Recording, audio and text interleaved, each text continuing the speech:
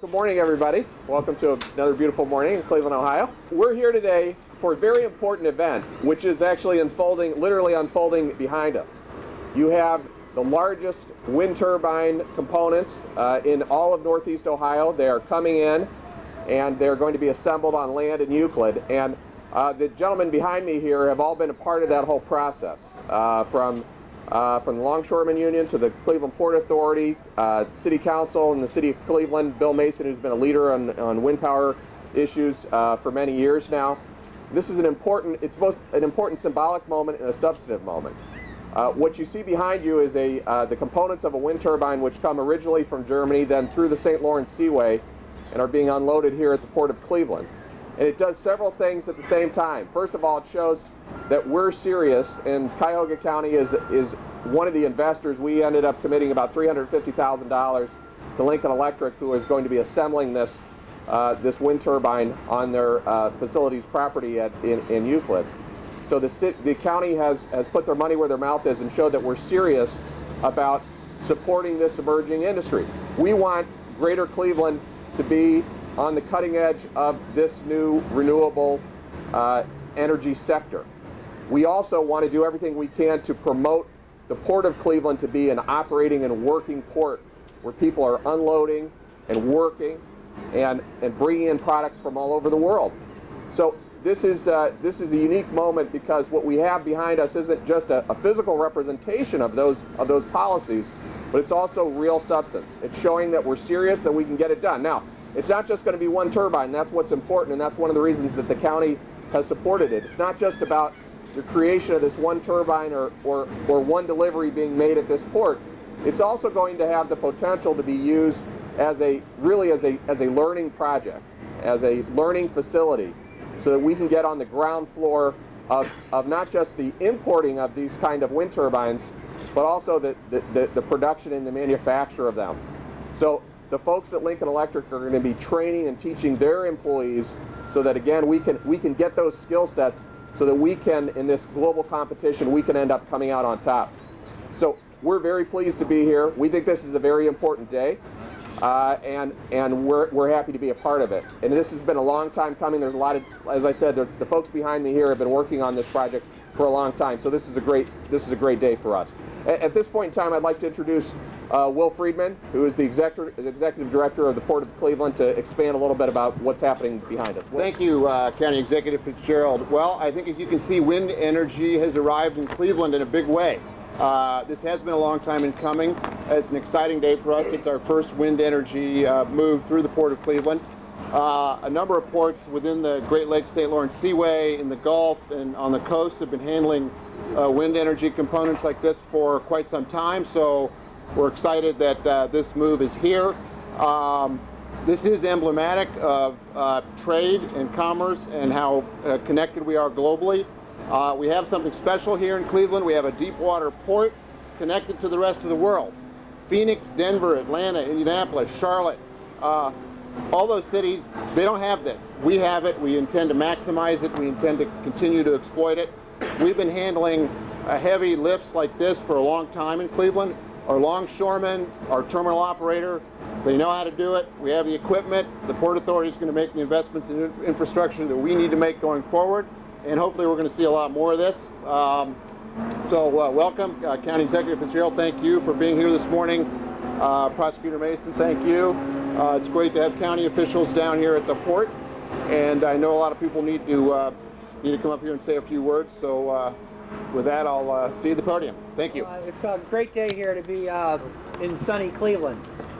We've um, been working on this project for a very, very long time, as many of you know.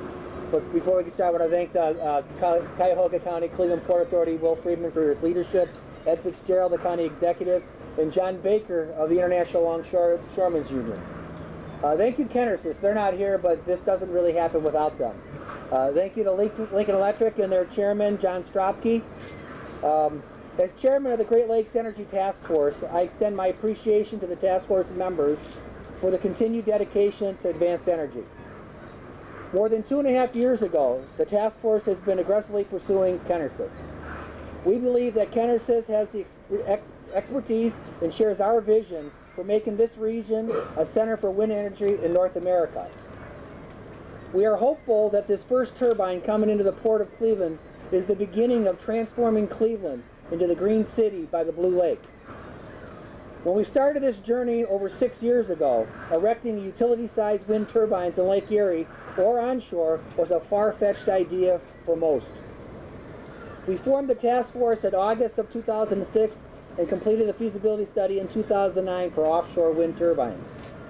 This year-long feasibility study conducted by this German company UE has paid dividends. The task force created the Lake Erie uh, Lake um, Lake Erie Development Corporation, or LEDCO, a nonprofit regional development organization for the purpose of establishing an advanced energy corridor along the Great Lakes communities. The Lakeshore community, uh, the responsible for the development of the Lakeshore installations. In September 2010, we made the historic announcement that three partners, companies, Bechtel, Cavallo Energy, and Freshwater Wind, will develop the first offshore wind turbine project in North America. Construction is expected to begin in Lake, Erie just out here in the lake. The, tax, the task force goal is to blaze a trail for the development of future wind farms and technologies in wind energy for North America. This has always been about creating good, sustaining jobs. Today represents another significant development down this path. In September of 2008, UE, the company that conducted the feasibility study, introduced me to Kenersys. We then began discussions with Lincoln Electric about installing a Kenersys turbine on their site and pursuing a wind turbine manufacturer that would be interested in locating to our region. Seth Mason from Lincoln Electric, who's in the back there, Ed Weston of the Great Lakes Wind Network, Steve Dever, the, uh, the executive director of the task force, visited Germany to look at Kenersys facilities and learn more about their technology. The agreement between Lincoln Electric and Kenersys reflects a successful collaboration between business and city, county, state, and federal government. To further study the ecological impact of the wind turbines, the Ohio Department of Natural Resources has agreed to monitor the effects of the turbine at the Lincoln site. These studies will supplement our feasibility study on the impact of wind turbines offshore. I believe this is the first of many firsts in a very competitive business that is beginning to provide certainty in a market for the wind industry here in Northeast Ohio. The message today is clear. By working together, we can establish this advanced energy corridor as the innovative engine for the next generation of jobs in America. There is an urgency for our leaders to come together in order for this mega region to prosper. Lincoln Electric has shown that leadership. I again applaud them for making the significant decision to partner with Kenersys. This single turbine, the largest in North America, is symbolic of creating an entry point for future development of wind energy industry in Northeast Ohio. I believe this, this region has the potential to lead the nation and the next frontier, which is advanced energy.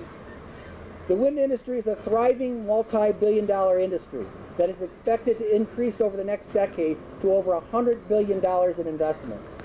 We can capitalize on these economic benefits if we stay vigilant. The task force has created new public policy by changing the law in Ohio, which created the market for advanced energy. We are currently seeking an amendment to that bill to create a carve-out specifically for wind to help this industry grow. There will be a wind turbine in North America. There will be an industry here. The only question that remains is, will the market import turbines from components to Ohio, or will Northeast Ohio build them right here and create the next generation of jobs for our children? The partnership between Lincoln Electric and Kenersys is the beginning of our region's attraction of new companies here that create good paying jobs. Kenersys is one of those companies. They have nearly completed their due diligence on picking a site in North America. It is our hope that the task force partners have made the case to Kenersys to set up shop here to grow and became, become prosperous and a leading developer of wind turbines in North America. Thank you.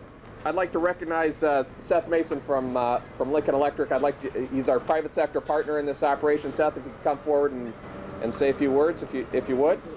All of the folks from the Department of Energy, the state of Ohio, the Ohio Department of Development, uh, representatives like LaTourette, Senator Brown, they've all been a big part of this process It's been a bipartisan effort to do this, and uh, the county has stepped up big. Mr. Mason, his group, Steve Dever.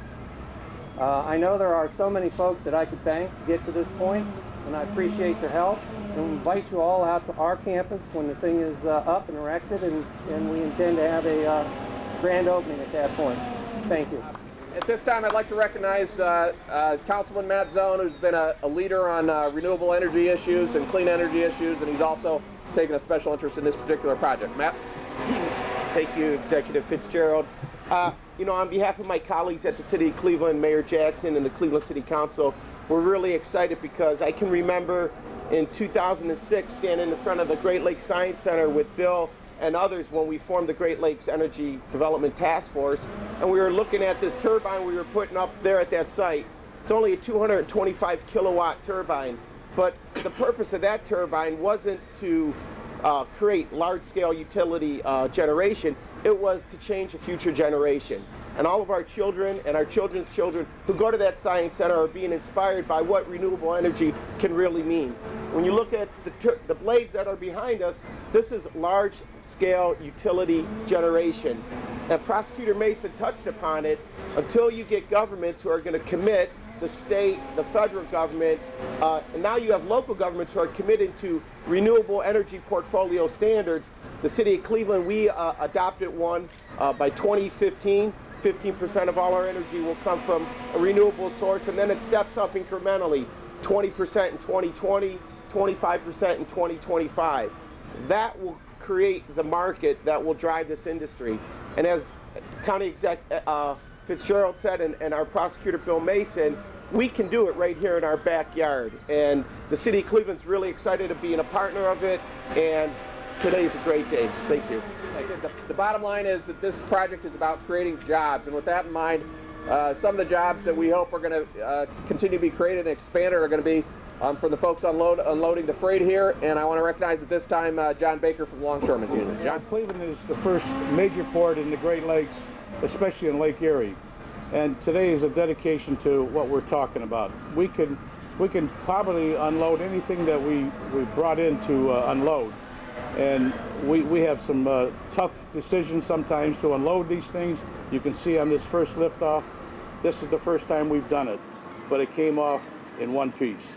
So with that, uh, the five gentlemen that were just speaking here, they said it all, and I just want to echo uh, what Will said about the port, and uh, we're delighted that you're here. Thank you. Uh, we're making a down payment on what we think is going to be an emerging industry for the 21st century, and we want Cleveland to be at the center of that. So thanks for coming. Thanks for your participation. Thanks.